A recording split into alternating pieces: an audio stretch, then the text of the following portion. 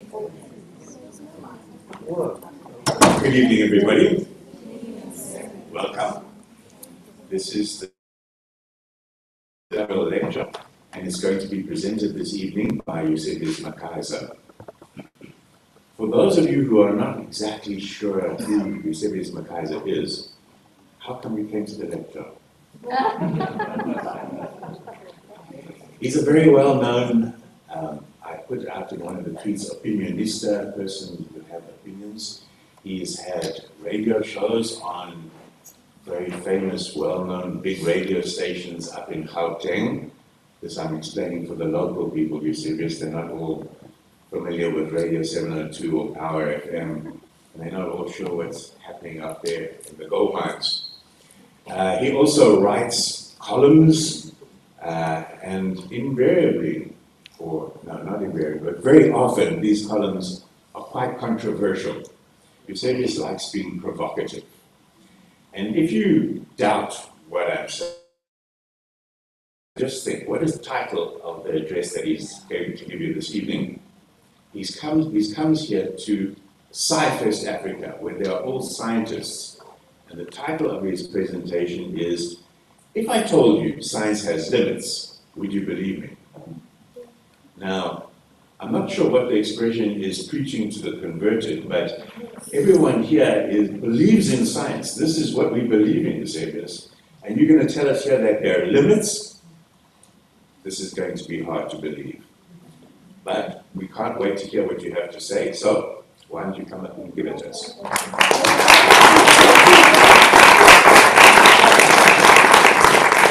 Thank you so much for that fantastic introduction, and thank you to everyone who is here this evening. Um, it's funny that you should start by asking whether they know who Eusebius is. I think it's more apt to ask who Christina Scott was, because this lecture is many of my friends in media, many of my friends like Ms. Anja Fourie, the director of this festival that I've known since school, have also been not just folks who admired her as a journalist, but also regarded Christina Scott as in fact a mentor of hers. It will also explain why I'm here, although I know nothing about science. Christina Scott was a fantastic journalist who did a lot to popularize science and the communication of science, despite the fact that science can be incredibly difficult and technical. So difficult that I dropped it at the end of grade 9 and did history instead. Horrible choice that the school forces on you. But part of the reason is that we run away from science. If you told me that I would one day be at a science festival to give a talk, any talk, I would have told you that there's a better chance of me winning the lottery because science scares the living daylight out of me. So this memorial lecture honors one journalist, and we don't have enough of them in the country, who did amazing, not compromise the complexity of scientific ideas, and yet at the same time reach as wide an audience as possible. I think it is a wonderful gift. I've got a handful of other journalists who came to my mind when Anja asked me whether I would do this year's lecture. And I said, but why haven't you had Leonie? Why haven't you had Sarah Wild? And of course, they've already been, in the first couple of years of this memorial lecture, been the ones to have given it, precisely because we do not have enough journalists who have followed in the footsteps of Christina. But then I thought to myself, I'd love to come back, any excuse to come to Grahamstown. The last time I was in this venue, I think I was probably reciting a poem if not playing the piano, Mr. Holders, in a nice competition. So I like an excuse to come back because I'm from Grahamstown. But I also didn't want to be fraudulent, not only because I've got trolls on Twitter who will bust me if I attempt to be, but, but because you should come into a space respectfully and not come and tell you absolute rubbish about science if you already have a scientific understanding don't have. And of course, my background is in moral philosophy. That's what I specialized in. That's what I spend a lot of time thinking about. But this is a science festival, and at the same time, we are here not ultimately to hear what Eusebius has to say about science, but to honor the, the legacy of Christina Scott. So how do you do all of that?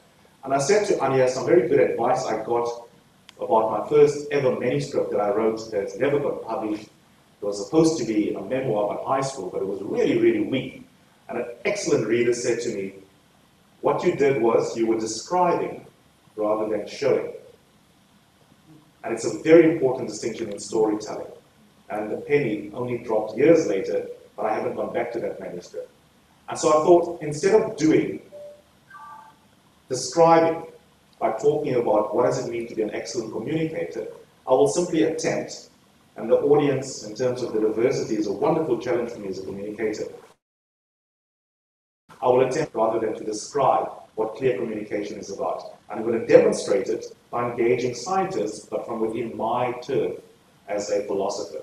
And I think the best way to honor the memory of Christina is to challenge you with a complex topic, try and communicate it clearly, and although it may not have anything to do with your favorite area of science, I hope that you will see it as a demonstration on how to communicate a technical issue clearly, which is ultimately what her legacy was about.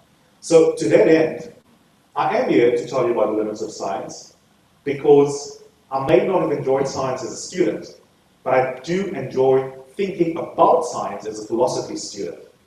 And so there are three different aspects to my talk. And I will let the cat out of the bag because I'm not reading a novel. So I'll tell you what the conclusion of my talk is right up front. I will then make an argument for each one of the three views that I want to put on the table. The final one is the discussion. And then I will give you a good 20 minutes to throw stones at me, um, verbal ones, not, not literal ones. I'm going to argue that science cannot tell me how to live.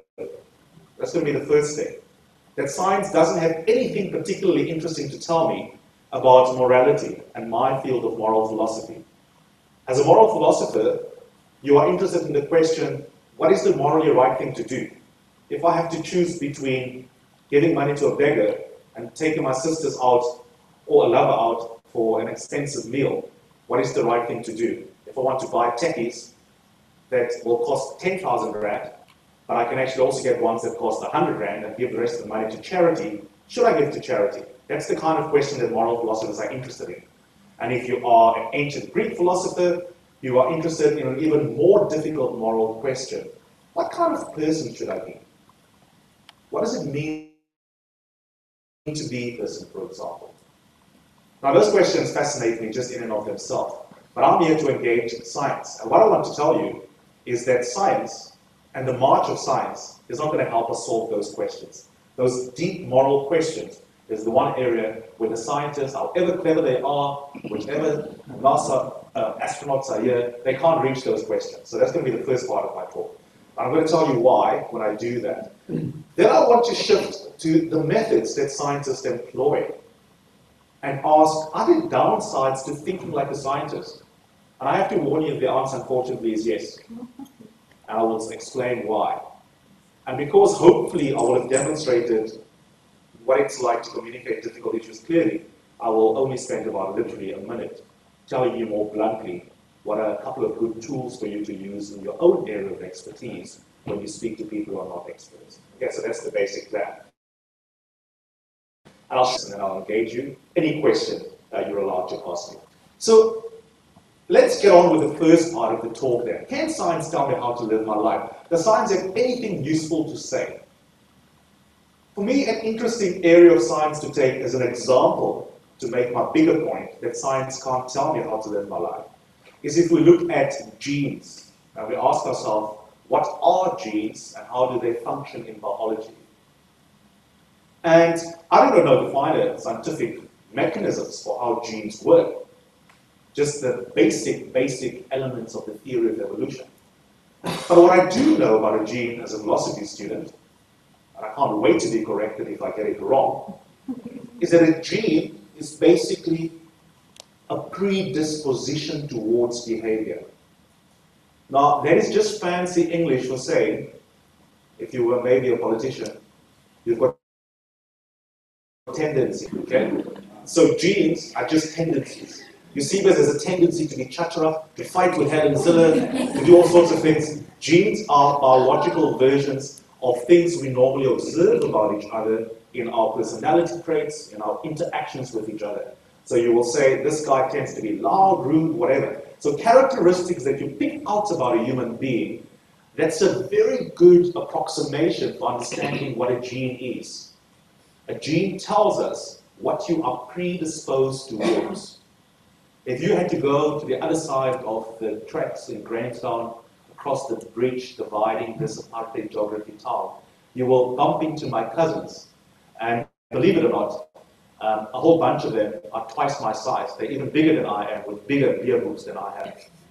And that is despite the fact that some of them played provincial cricket, were snapped up by Kingswood College before being dumped back in the township, done with matric rugby playing, but their bodies look very similar to mine, and that's because the McKaisers have a genetic predisposition for obesity. We, we do. We're very unfortunate. The only nice part of it that I've discovered in trying to lose 20 kilograms of weight over the last year is that we also have a gene for, for building muscle very quickly. Unfortunately, it's not offset by the rate at which we get rid of our, our beer but that is the genetic makeup of men in my family. It's a predisposition. And I, I'm seeing the skeptical thought bubbles above maybe science lovers or science teachers because they're wondering so, how will this connect with your skepticism about questions of morality? And the answer is simple. If I have a genetic predisposition towards obesity, let me ask you a question. I'll ask the, maybe the young people in the front. Given my description of what a gene is, a gene is, right? If I say to you, aha, I've discovered that you have a gene that predisposes you towards obesity, does that give you a reason to immediately run to KFC and go and eat a bucket of KFC? No, it doesn't, does it? Okay, now you, on my side, the scientists are going to start losing you. Because what it means is that the genetic predisposition towards obesity at best tells me how my body will respond when I make certain kinds of choices about what I want to eat. That's what it tells me.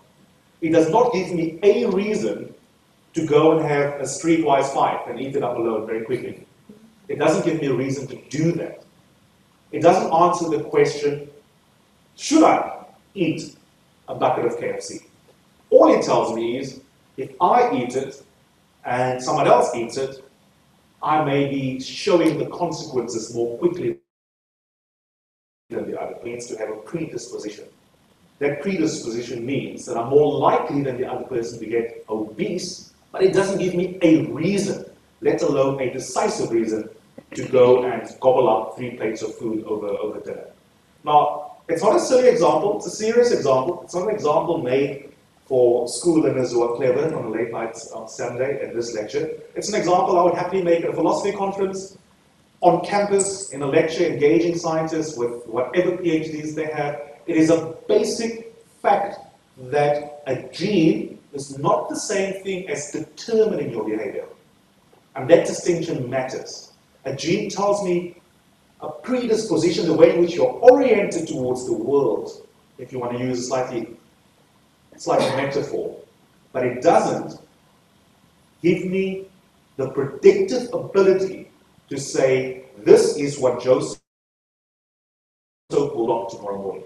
And that's the difference between a gene determining what you will do and a gene merely predisposing you towards particular behavior. And this is across, across science, whatever your, your, your favorite discipline is. Whether we talk at a higher level, psychology, for example, or sociology, it's exactly the same thing. If we discover that aggressive behavior, particularly behavior that men are predisposed to, or even, I don't know, a certain subset of men are predisposed towards aggression, it doesn't give you a reason to give your friend a fat klap. All it means is that you are more likely to respond to triggers, whether they be environmental triggers, biochemical triggers, responding worse to a banky that you buy from a car guard as a student than someone else. That's all it means, is that you will respond differently to different inputs, whether it be inputs of a social nature, food that you eat, substances that you take. That's genes. Whether we talk about personality traits, disorders, all sorts of things that you are predisposed towards, all that biology can really tell me is what is likely to happen to me if I make certain kinds of choices. But it doesn't force me to make those choices. It does not, to talk about the elephant in the room for the academics, it doesn't take away my free will. And as long as I have that, I have the ability to resist my genetic predisposition. That is the key reason why science can't settle questions of morality. It can't. Let's take a nice, very personal, very difficult example homosexuality. There's a big debate amongst LGBTI activists about whether it would be useful to discover that there is a gene that predisposes Eusebius McKaiser towards being attracted to men. The reason why many LGBTI activists are excited by that question is that they hope that homophobes will stop hating when you show them, here's the gene, if I cut off Eusebius's body, there it is. Equally, some homophobes hope if such a gene is never found, it gives them extra reason to say to Eusebius, moffie, because after all, there's no gene that explains his behavior. But here's the snag. Both the homophobe and the gay rights activist just do not understand science. I say with my standard seven science. Because if they did, they would realize that the, the gay gene debate doesn't settle a moral question. It doesn't help the activist who thinks clearly. And it doesn't help the homophobe, but they never think clearly. And the reason for it is twofold. Let's say you discover Eusebius has a predisposition, which I do, I flaunt it with gay abandon. But it doesn't give me a moral reason to pull into a boy and the and parrot. It just tells me that I'm more likely to have my hormones go wild when I see boys. But it doesn't determine my homosexual behavior. That is a choice. So discovering that I have a gene doesn't mean that I must act on the gene. In the same way in which having a gene for obesity does not mean that I must go and eat as many Wimpy burgers as possible. Genes are not as powerful as scientists like to believe. They're not even as interesting. But equally, the other side. So if you're a homophobe, hold your horses at this point. Because you're not helped out by the fact that, that I might not have a gene.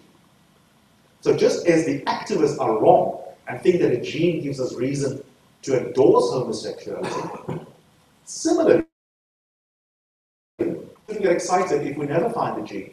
Because the question is, is homosexuality morally allowed? The question cannot be answered by saying, I didn't discover a gene in the lab.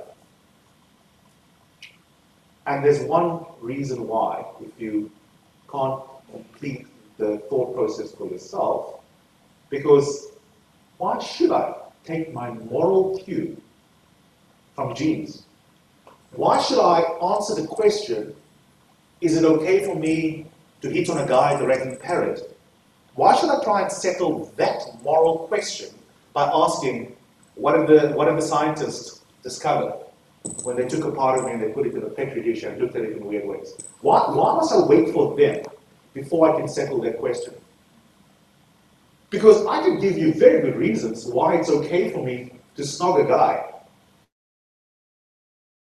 He is found. And I can tell you the reasons for that that have to do with choice, whether I'm harming other people around me, an expression of my love for another human being who looks similar to me, and all that beautiful stuff that will get tears in your eyes. But at no point in telling you why it should be morally and legally allowed for me to engage in homosexual activity will I make any reference to science. So neither the pro-gay rights person nor the anti-gay rights person understand the limits of science when they have debates about whether there's a gene for homosexuality. Okay, so I've given you the example of food, obesity, gene, predispositions do not give me a reason to overeat at dinner. A gene for homosexuality, absent or not, doesn't tell me anything about whether homosexuality is morally acceptable, permissible. And those examples, I would hope, to persuade you that the moral question cannot be settled ever with reference to what happens in biology. Before I move to the second part of my thought and tell you why the scientific way of reasoning has some really, really bad downsides, I just want to, because I can see that you are incredibly nerdy, I want to qualify the first part, the first part of my three part, three parts to my talk by adding two little complexities. Okay? Are you still with me? The first complexity is that there is one part of what's happening in the world of science where, as philosophy students, we shouldn't be too arrogant. We don't entirely know how far the march of science will be going in giving us the most complete possible description of human behavior. We already understand human at incredibly, incredibly low levels of explanation, subatomic particles, and all sorts of weird random things that happen in your brain structure that I don't get. So we increasingly, as scientific knowledge expands, get an ever more complete description of why, or how human beings behave. And one question that does scare me as a philosophy student interested in moral questions is whether the basis on which I reject science as not being able to settle moral questions may one day be challenged, if not at the moment. And that basis is the two words I mentioned three minutes ago free will. So when I said the gene can't tell me what to do, I was assuming that I genuinely have free will. That when you put before me an apple and a chocolate, that it is sincerely to freely decide between the apple and the chocolate which one I want to eat right now. I experience the world like someone who's got the power to make free, autonomous choices. And one question where I have to eat humble pie as a philosophy student is that I'm not sure whether that's an illusion, whether the feeling that I'm making a genuine choice may be psychologically how I experience the world, but that in reality, that perhaps when you put personality trait, environmental factors, genetic predispositions, even if they're not determining your behavior, but it could be that the more complete our understanding of how behavior works, the more we're going to encroach on that powerful millennia old feeling of generally having free will. That would be a threat to the idea that I can genuinely make choices. But until in science that is that complete, I remain steadfast that the question, what should I do? Should I give money to the beggar or should I spend it on another round of beer? That question is not a question that scientists can answer. And the second complication I want to add to it, if there are any philosophers in the house, is that it really is just the difference between what we call a descriptive claim and a word that I use far too often in public called a normative claim. Don't worry about the, words, understand the concept. A normative question, which is the kind of question philosophers care about, is a question about how should we behave? The word should. What kind of society should we have as South Africans? What should be in the Constitution? What should I do when I have a should questions we call normative questions. We contrast them with descriptive questions. And as much as I wish I was as clever as the scientists here, I think normative questions are cooler and harder to think about than descriptive ones, even if the tools of scientists are really impressive if you can master them. Because as complicated and interesting and as wonderful as the world of science is, at the end of the day, what all scientific descriptions have in common is that they merely describe the world. They don't tell people how they ought to live. They don't think about how society ought to be arranged. Those questions don't arise in science. Science, at heart, is about how do we describe society and what is the most complete and the most accurate description of how things actually work.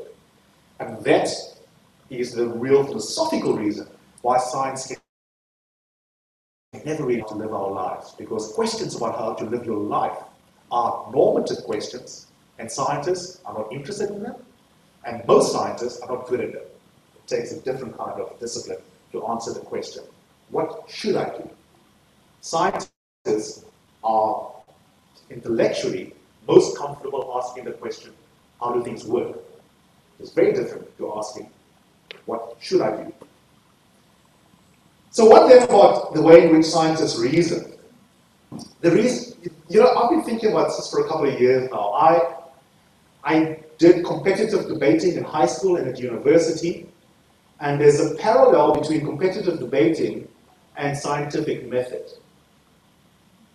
As debaters, you become, and actually also as analytic philosophers, you become obsessed with evidence, with logic, with formal logic.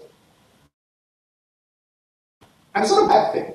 It's not a bad thing. If you are intellectually curious, as a student, as a researcher, just as a human being, then you must have an interest in truth. And you should be skilled in the basic methods that science uses. Because the methods that scientists use is the, the hallmark of logical excellence. But there are downsides to, to the method. And, and I think it's important to think about them. I think there are social downsides and there are also intellectual downsides. Right? So let's take, let's take an example. We'll play with the example of gay rights.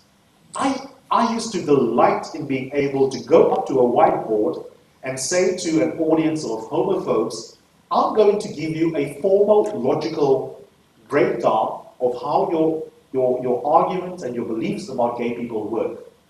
Premise one, homosexuality is unnatural. Premise two, anything which is unnatural is immoral. Full stop. Conclusion, homosexuality is immoral.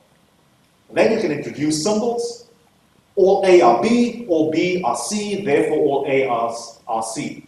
You can use Venn diagrams, you can use fancy techniques, informal logic, and informal logic even. You don't even have to use formal logic. And like a mathematician, you can see that the argument is a perfectly valid argument. If the premises are true, the conclusion is true.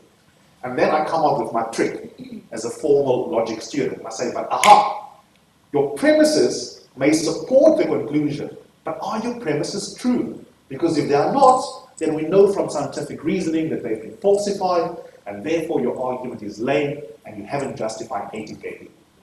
And this is what's wrong with your first premise. Blah, blah, blah, blah. Second premise, blah, blah, blah, blah. So you go on.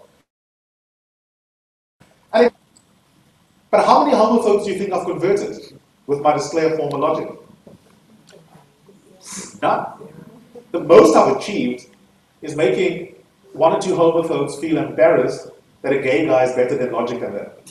I haven't changed the world.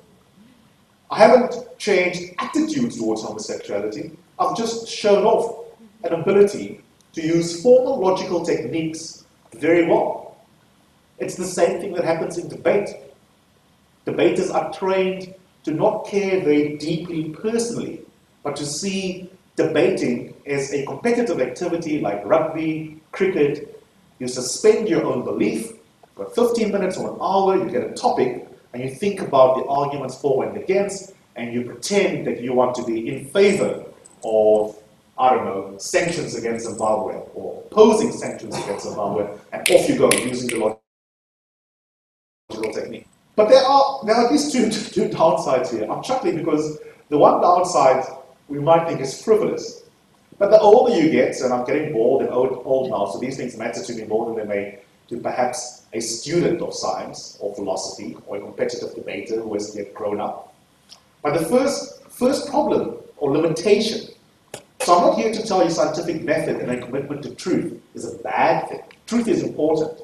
And learning to justify a claim is a very important intellectual virtue. But there are, in the first instance, social downsides. The first social downside to guard against, I'm still learning. I get it right sometimes, and some days I don't, is that you become an asshole. No, really, you do. Because you become absolutely obsessed with demonstrating formal logic. Truth matters, but it is not the only value that matters in interpersonal relations with intellectual inquiry, but I'll get to that one in a second. So there are many other kinds of consideration that come into play when you engage someone in conversation, in dialogue, in debate. And the scientist may be the gold standard of how to be really magical and powerful with the use of evidence with formal logical moves that you can make. But scientists, not all of them, mercifully, are often socially awkward. Debaters are the same. Very, very awkward. Can make for horrible partners, can be very argumentative. And I know that because I've had many ex-boyfriends, family members, friends who've had to deal with me as a debater. Thank God I didn't have scientific skill to add on top of the debating and philosophy. and I'd just be the worst person to, to hang out with. And I sometimes think, as I'm getting older, and realize between four logical techniques, of which science is the hallmark, and the social consequences, my goodness, and that one really loved me to have stayed with me for so long. But at the heart of it is genuinely what Plato once described, especially in young people, but I think he's letting older people off the hook too quickly. That if you teach formal logical techniques to young people in particular, it is it's wasted on young people.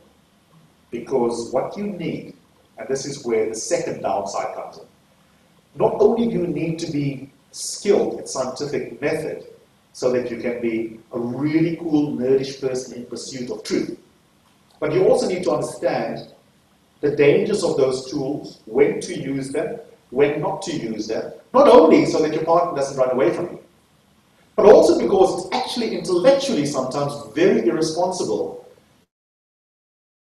and cunning, an intellectual vice, to not recognize when a formal logical technique has been exhausted.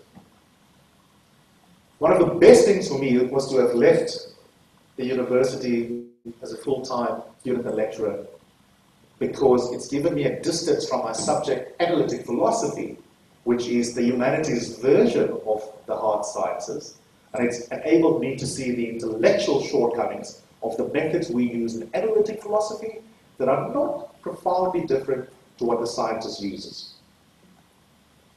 And I'll give you one example. I think it's a beautiful example of how the social cost of scientific reasoning and the intellectual weakness of only having scientific method in your armory can sometimes actually come together. If you approach teaching, for example, or dialogue, but I think teaching is on my mind with, with all the transformations. If you're going to see yourself as a teacher in high school or a lecturer, walking into a venue and in front of you are blank slates and you're about to write these amazing lessons, all these fools who are here, you, you, you don't open yourself up to seeing the world differently in conversation with your students or with someone that you're having a discussion with. You don't.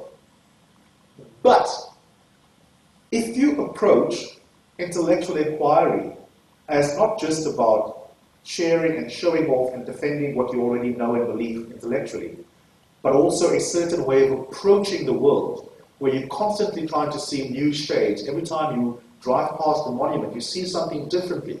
Because the last time you were in conversation with John, you listened to John with the view to seeing different things in the world from John's perspective, very genuinely, very actively. You draw in dialogue. And there are things that John sees that you don't see, that you are then able to have a go at recognizing for the first time, despite having driven past the monument 200 times before. That ability to open yourself up to seeing things in many different ways than before is an intellectual virtue. It's not a virtue you have if you think you are a know-it-all. Because you can make a formal logical argument, it's neat, it's in your pocket, and you're walking on your way to Mullins Hall to go and rehearse it in the exam. It's, it's, it's an important basic skill to have, but it has a profound downside because there are other ways of, of seeing the world that you miss out on. I'll just give one example, and I'll get to the final part of my talk. What are the consequences of that lack of openness to seeing the world differently that can come from being too committed to scientific reasoning? Is that we often become very arrogant about our favorite disciplines. So if you're a philosophy student, you know this, for example. Philosophy students, year grows, look down on people who do English literature and sociology and anthropology. They're like, ah, oh, they're not as clever as we are. We may be in the humanities, but we can use mathematical symbols, and they can't. We probably had enough points to do BSc if we wanted to. They didn't, right? and then you hopefully have an opportunity to grow up, or you meet someone amazing like Professor Lewis Gordon, who's my favorite international philosopher at the moment, who inspires me wrote a book called Disciplinary Decadence. Very decadent, like the basic insight in the book is quite easy to summarize. Very easy to communicate, as Christina would have been able to as well, without doing injustice to Professor Lewis's intellect. That we become so obsessed with our own methods in our discipline as a chemist, as a psychologist, as a philosopher, even as English literature specialist, that you take the methods of your discipline to be the hallmark of, of excellence intellectually. And other ways of trying to make sense of the world in which we all live, you secretly don't respect. So you may be nice to Professor so and so next door in anthropology, but you actually think it's cooler for you to be the HOD of philosophy rather than anthropology, because anthropologists, like, they're just weird and stuff. Well, no, no. That, that is a profound intellectual failing to be that arrogant about your discipline.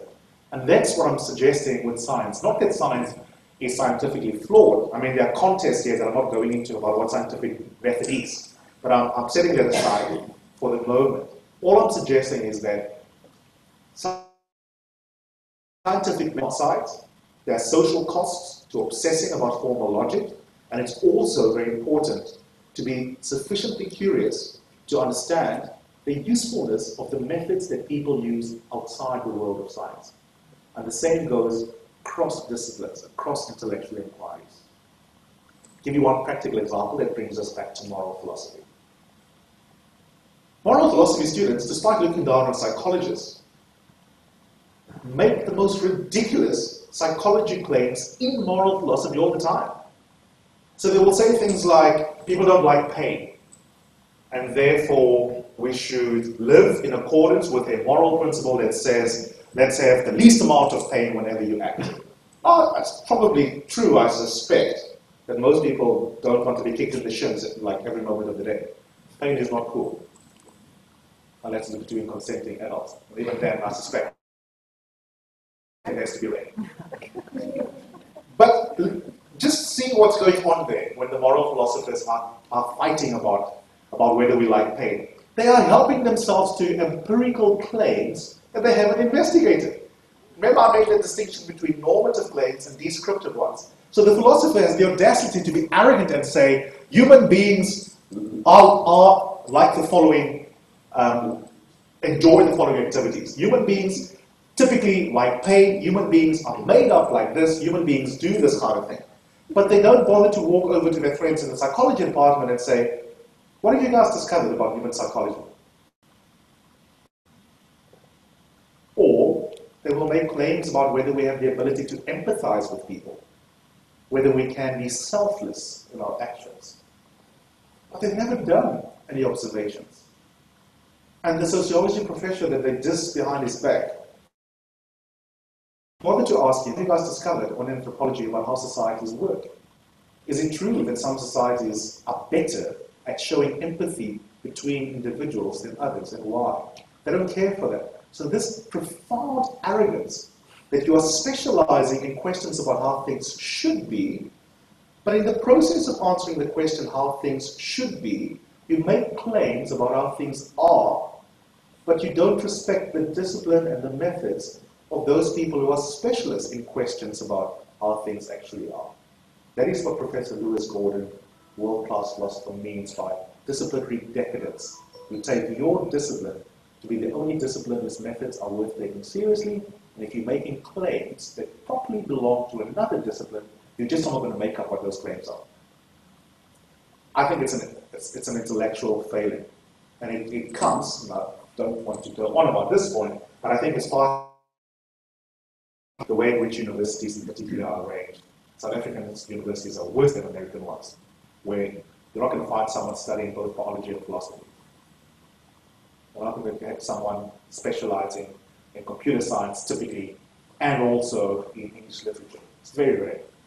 So we don't promote the idea that someone who's really intellectually curious should have an interest cross-disciplinary fields because different disciplines all collaborate to help us see things in many different ways and complete our overall picture of what is happening in the world and how things should be.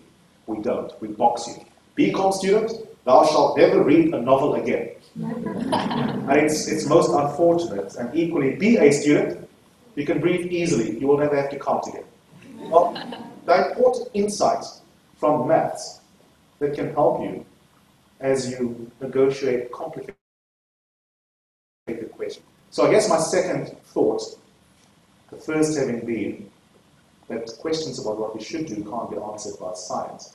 My second major thought for the day then is simply that we should not be arrogant about our disciplines. Recognize their strengths in the method, but always try and see the world differently. You may be a clever scientist, but you might learn something from a friend in the English literature department.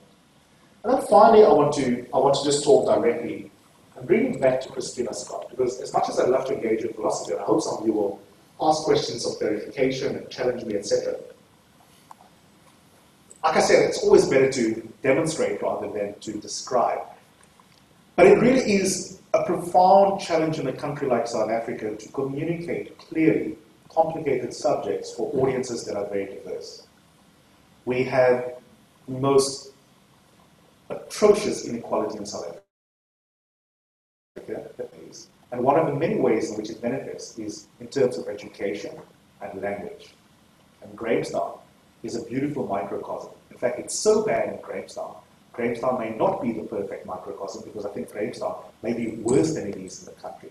The inequalities, linguistically, geographically, and financially. The consequence of that for communicators is that you always struggle to know who are you reaching, who are you trying to reach when you're giving a speech, when you go on radio, when you go on television, when you're writing an article for the Sunday Times. Who are you trying to reach?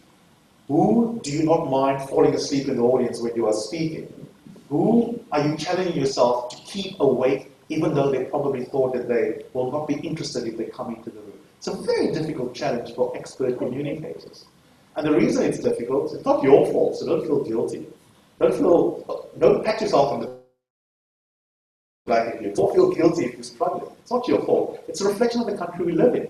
Because of those inequities, unlike in America, where the size of the population enables you to communicate the subject like, like science to a small percentage of the population, but a large audience in terms of the overall number, you don't have that luxury in South Africa. So I'm constantly battling as a as a would-be professional philosopher who decided not to be in the media and engage social and political topics popularly. Because the question is, who am I speaking to? The taxi driver who's got grade 8?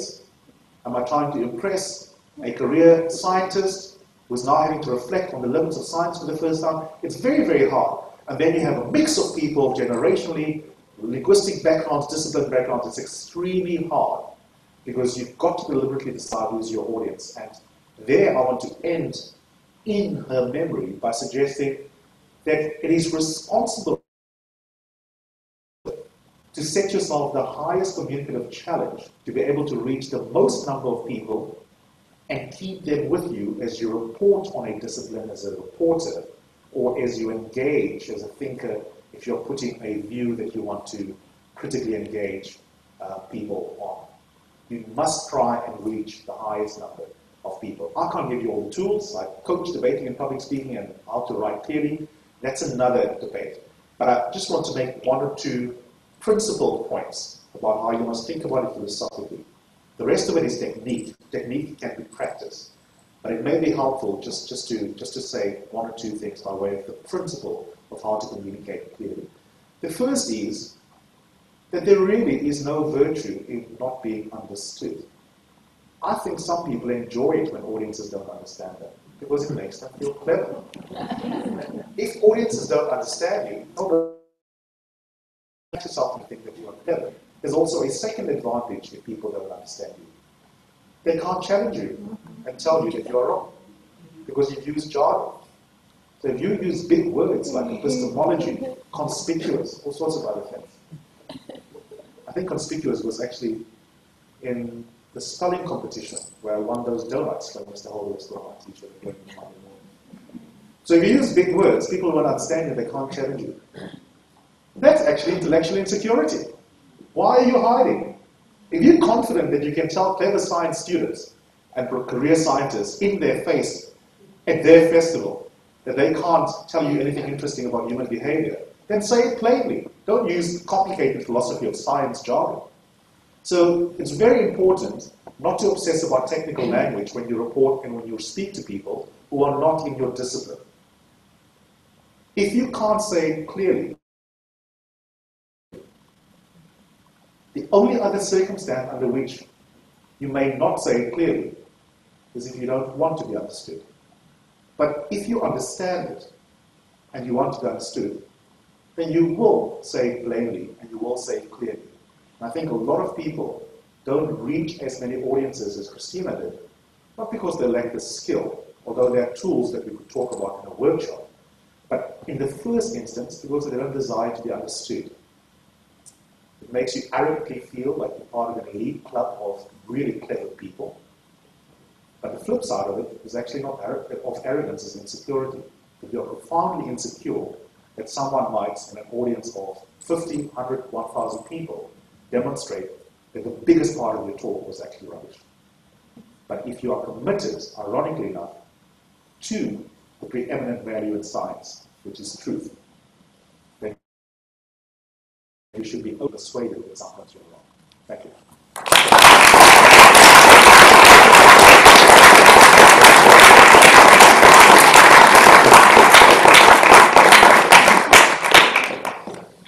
Eusebius, when you came here to talk, I had extremely high expectations because I've read many of your articles, I've heard you on radio many times, and yet you even managed to exceed those very high expectations. Let's have one more round of applause.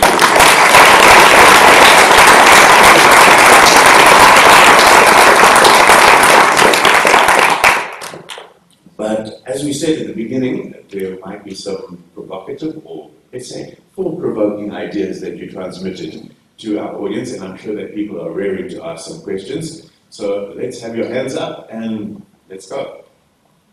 Please don't be shy. Q&As are usually more fun than just listening to one person.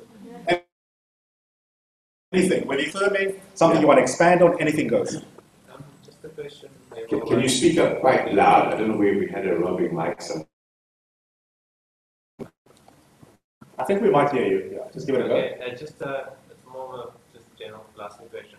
But I just could never guess. Okay, I understand why maybe science can't tell us anything about um, moral morality and what we should do. But I can't really see why um, like formal tools of analytic philosophy should tell us anything about morality. Why they shouldn't. Why? Oh, why they why? Oh, so you you are equally skeptical about philosophers' own methods to tell you about how to live. Yeah. Oh, right. Okay, fair enough. That's a very good question. Well, let me answer it very quickly for now, just to get as many questions as possible. If we have more time, I'll engage you afterwards. Um, I don't think philosophers actually have a monopoly on, on reasoning about morality. That's another discipline.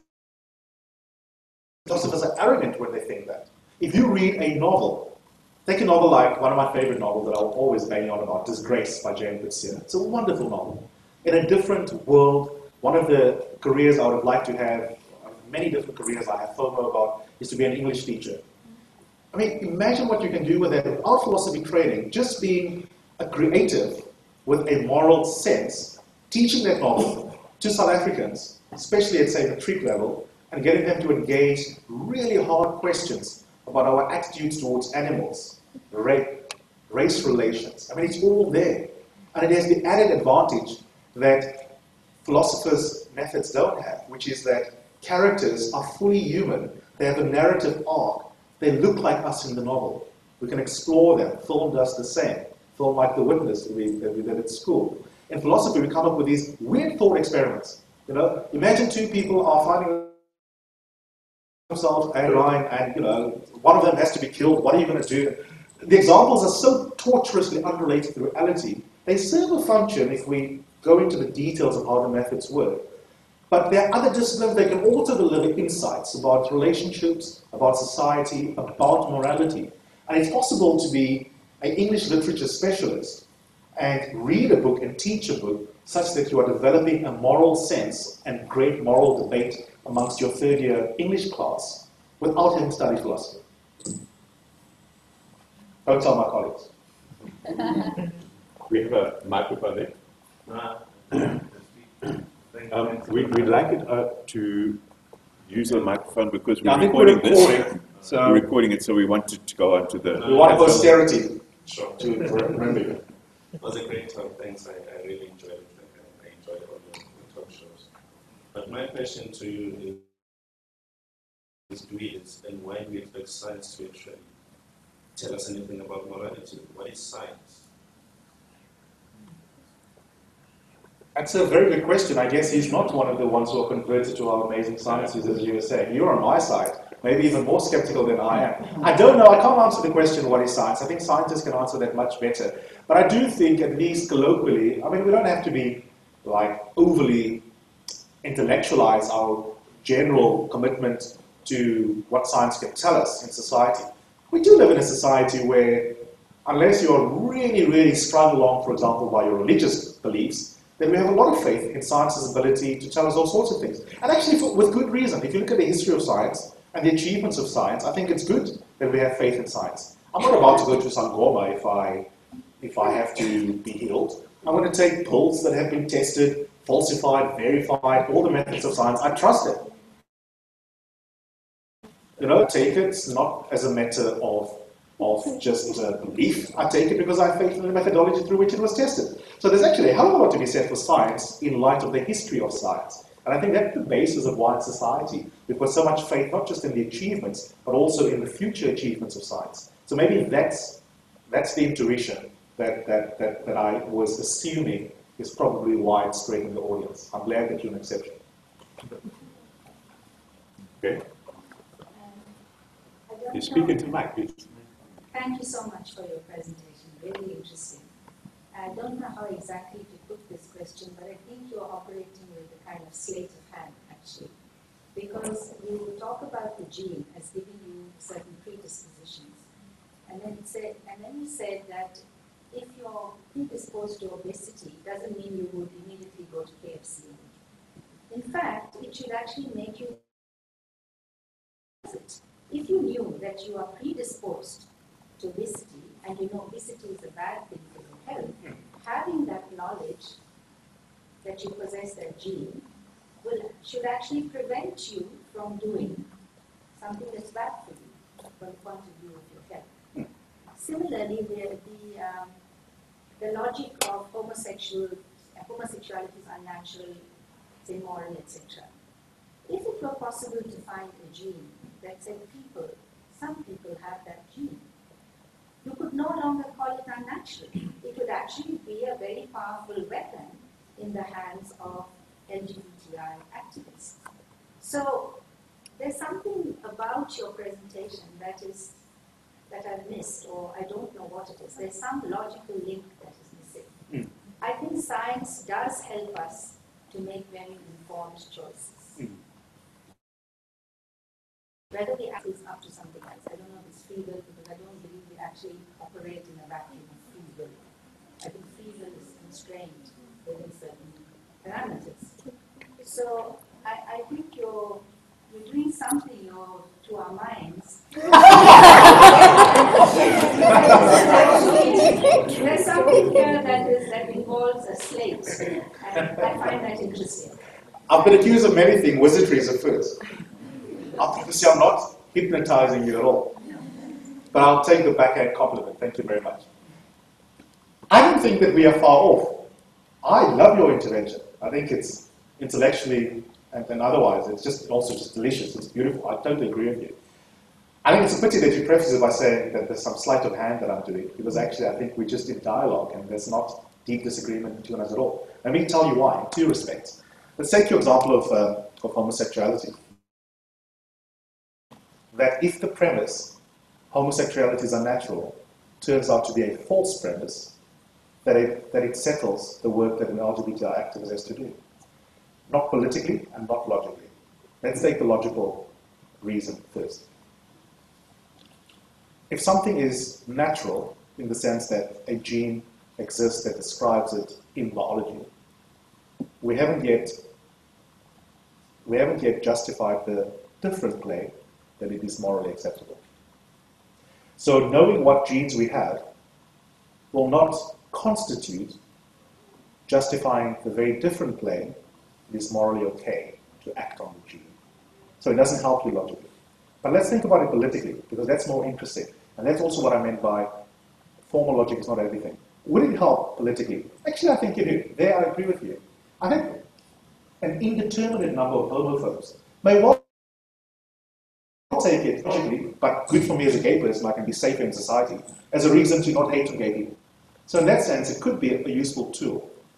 But, um, but it's, it's unknown if we want to be nerdish about the, the probabilistic consequences, because we don't know whether a homophobe secretly, even though they demand a gene, whether they're really going to be satisfied by that. I would bet my healthy left kidney that the guy who says it's not natural, there's no gene, and you say, but here it is, dude, I'm going to show it to you. I'm not sure whether that's going to persuade it. I think haters are going to hate, and the fact that you come up with a gene is not going to settle the, the matter at all. So it doesn't settle it logically, and I think the work that you have to do as an LGBT activist will continue. I think a better chance you have to engage that guy is not to prove that the gene exists, or to show that one exists once it has been proven. You're going to say to him, come spend a weekend with Eusebius and his gay friends. Look how wonderful they are. Okay? They crash a car, they bleed like you do. They cheat on each other like you, straight in love like us do. Isn't amazing? Touch that. Eh? Just like, that is a better effect than showing a gene. I don't want to be persuaded by that. So there, I don't think we're in deep disagreement. I think we're just in longer conversation. But before I take this one or two last questions, I do want to do justice to your first question as well. If I know that I have a gene for obesity, you and I agree even more on your first point, it gives me a warning about my health, and it empowers me to do something about it. I go to the gym eight times a week. If I didn't, I would really be huge. Now, you've answered your own question though, because I still have to make the choice. And that is a what ought I to do question that wasn't settled by the gene. The gene just gives me more information to make a responsible choice. But what I should do remains an open question. We've got time for one last question. I have time for many, but we should keep it clean like good scientists would. So I'll, Okay. take, let's, I'll take two or three at the same time.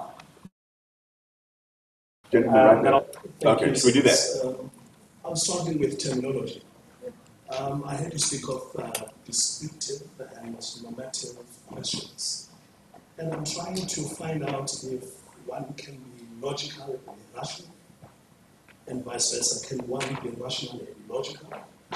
And if one can be logical and make good uh, ethical decisions, and yet be rational in terms of how those decisions will be.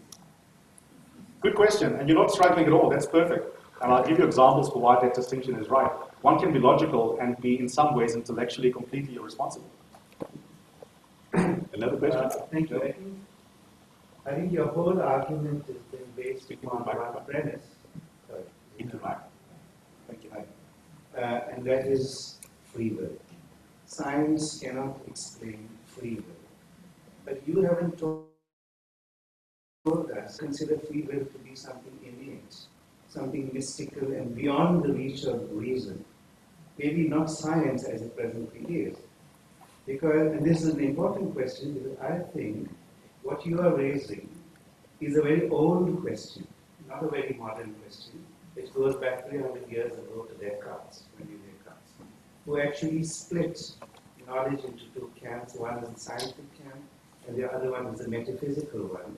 And he put free will in the metaphysical camp, which is, in, other words, a theology. It's beyond the reach of knowledge. And the only person to have challenged Descartes was Spinoza. And Spinoza was, was excommunicated and cut out from the history even till today. Now, it is very surprising for me that philosophers are not raising the issue of the debate between Descartes and Spinoza. And one basis of science, which would tackle free will as something that emanates in this world, not in another world, not in the metaphysical region. So I would like to know your. Okay, I'll take. Uh, Okay, for the last, last, last question, I'd like it from the front row of all these young people. Yeah. Can we have that microphone? Where is it? Okay. Thank you. Go for it. Um, I understand the gene as something that influences a certain characteristic. And so you said that um, science does not answer how I should behave. But then I say a gene is something that influences a certain characteristic. So that gene has influenced a certain thought that is going to lead me to a certain um, way to handle a, a thing, a problem, or, or something. So if the gene influences how I'm going to attack a certain problem, does it then not show me how I should be acting? Doesn't it not lead me to, um, can't explain it. yeah, how I'm actually going to handle it. In that way, it's showing me how I should be acting. Doesn't maybe um the thing with obesity? It shows you you if. I, I, I totally get you, don't worry. Great question. Yeah. Okay. Thank Very you well much. communicated. Thank you. I'm going to start with your question. The answer is that you don't believe that. the reason you don't believe it is that when I say to you, we've discovered you have a gene that makes you really like ice cream, do you rush off to town? You don't, do you? That's not a trick question. Let's say we're having this discussion at home or at school or wherever. If I say to you, yo, they discovered that I have a gene for ice cream, are you going to say to me, run, dude, go get ice cream? Important point here. And it's not, it's not a gimmick point. This is a point about the nature of, of, of influence. You use all the right descriptions, you don't misunderstand it at all, but you're giving it a little bit more power than it has, but in a way that's an important mistake in the description. Influence is not the same thing as determining your behavior. There's a massive difference between saying, shit, I grew up in a Catholic household, I've been influenced by Catholicism, I feel guilt, and actually being guilty every single day. So there's a massive gap between influence and doing. But that gap is crucial. Everything about the way in which we view human behavior is because of the gap, and I'm going to come back to you because that's where your question is located. It's that gap between influence but still having some ability to make your own choices that is the basis for why we can throw you in jail if you rape someone, for why I don't want to be your friend if it turns out that you have been backstabbing me. If it is true that influence is more than influence, that influence determines what you will do, then you, you can't have expectations of people. You can't get upset when people disappoint you. You can't praise them when they do well. Everything we do in our relationships, socially and in law, suddenly becomes completely meaningless if genes do the kind of work that you suggest. Now, this gets us back to Christina. It's, there's a communication problem with how we describe genes, especially when we want the theory of evolution to be made um, as easily understandable as possible to an audience. And I'm going to introduce another big word here because I do think that big words should not be shied away against. It's not the same thing as communicating. Communicating clearly doesn't mean some concepts um, should be shied away from. There's a concept in philosophy that we call anthropomorphizing. What it means is you give human characteristics to things that are not human, like a table.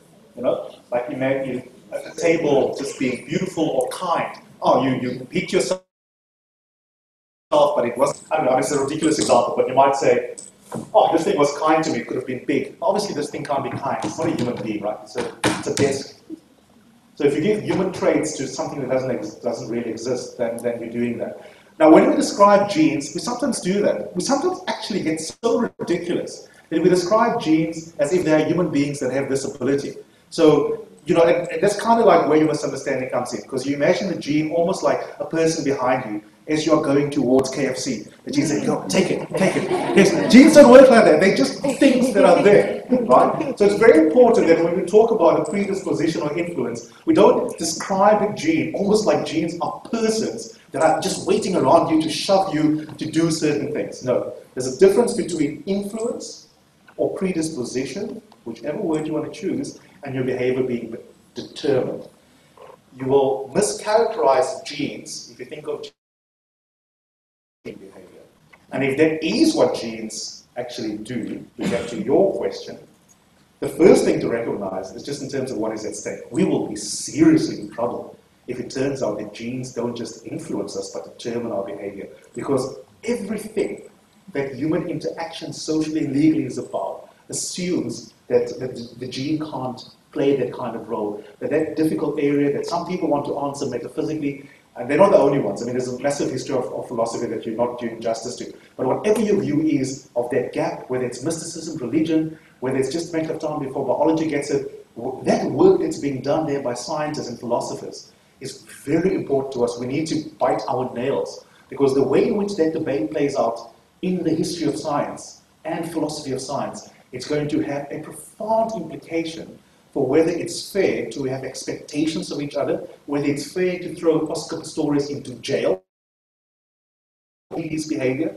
rather than he chose to do it. So the question of choosing versus determining versus influencing is hugely important. You can't be pissed off with Eusebius for being an arsehole if a gene has the power that you say that it has, right? So there's a lot at stake here. I don't know if there is the answer. Philosophers are not humble enough to recognize that there are probably scientific elements to this question, and I think psychological as well, before we get to chemists and people who work lower down, uh, that, we're not in a position to answer. We lower down in terms of cascading the levels at which you, you, you, you are investigating people. The highest level may be sociology, then you come down to psychology, and so you go down to anthropology. That's, that's where I'm And the reality is that as philosophers, because we are, to your question, arrogant about our, our discipline, we just somehow assume that we can sit in a seminar room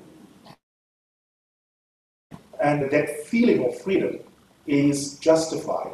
And the answer is that I can't answer that question. I'm going to have to get help from my friends in psychology and in, in other disciplines that look at us at, at an even more basic level than psychology. And then lastly, to your question.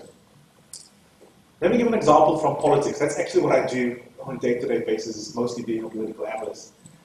There's one columnist who recently went through about 300, no, about a year ago, he went through about 300 blog posts of Professor Pierre de Vos. He doesn't like Pierre de Vos, and so he scrolled through it and he did a note and a word count of how many times um, colorful language comes up, you know, like crappy, awesome, whatever. Just words that don't have exact logical um, status in debate. Cut a long story short, he used logical tools to say 675 times this word. Then he uses that and wrote a, basically a 2,000 word essay to try and reach the conclusion on the basis of formal logic with all this evidence and the search of different words that Pierre de Vos is actually a sloppy thinker. He's a perfect example, and I don't want to mention his name because we're in the process of becoming friends. He's a perfect example of what, of what Plato meant by the dangers of formal logic as a tool. And he's an example of what I couldn't quite get. I still have to learn how to communicate this point. It's, it's been burning in me for several years, so I haven't found the words yet, of why it is that you can indeed be, in one sense, logical, but intellectually irresponsible. There's nothing wrong with his logic, but clearly there's something odd going on here. We know, if you follow politics and constitutional law, Pierre de Vos has got genuine insight. Pierre de Vos really cares about social justice. This guy is really an expert in field. He popularizes law. He communicates it well. He's an activist. He cares about people who are vulnerable. And he also intervenes in those debates as an expert. He's not just reporting on it. So we know that Pierre de Vos is an intellectual giant. So how do we square that with the fact that this guy who's hating on him has come up with a perfect logical analysis of certain words? And the answer is very simple. That what guy was doing in performing the logical analysis on Pierre's blog is a great example of when formal logical tools can be accurately exercised, but in the service of an intellectually irresponsible um, project. And that's why I'm not convinced that everything that has to be said about what it means to be intellectually responsible is just a matter of learning the methods of science. Thanks.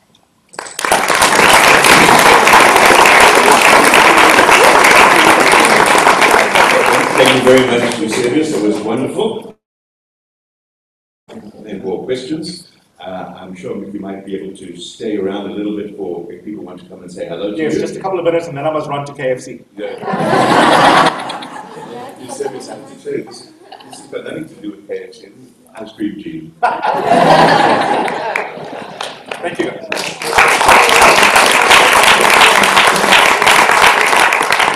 And, as a token of our appreciation, we have this small gift to you from Scifest Africa.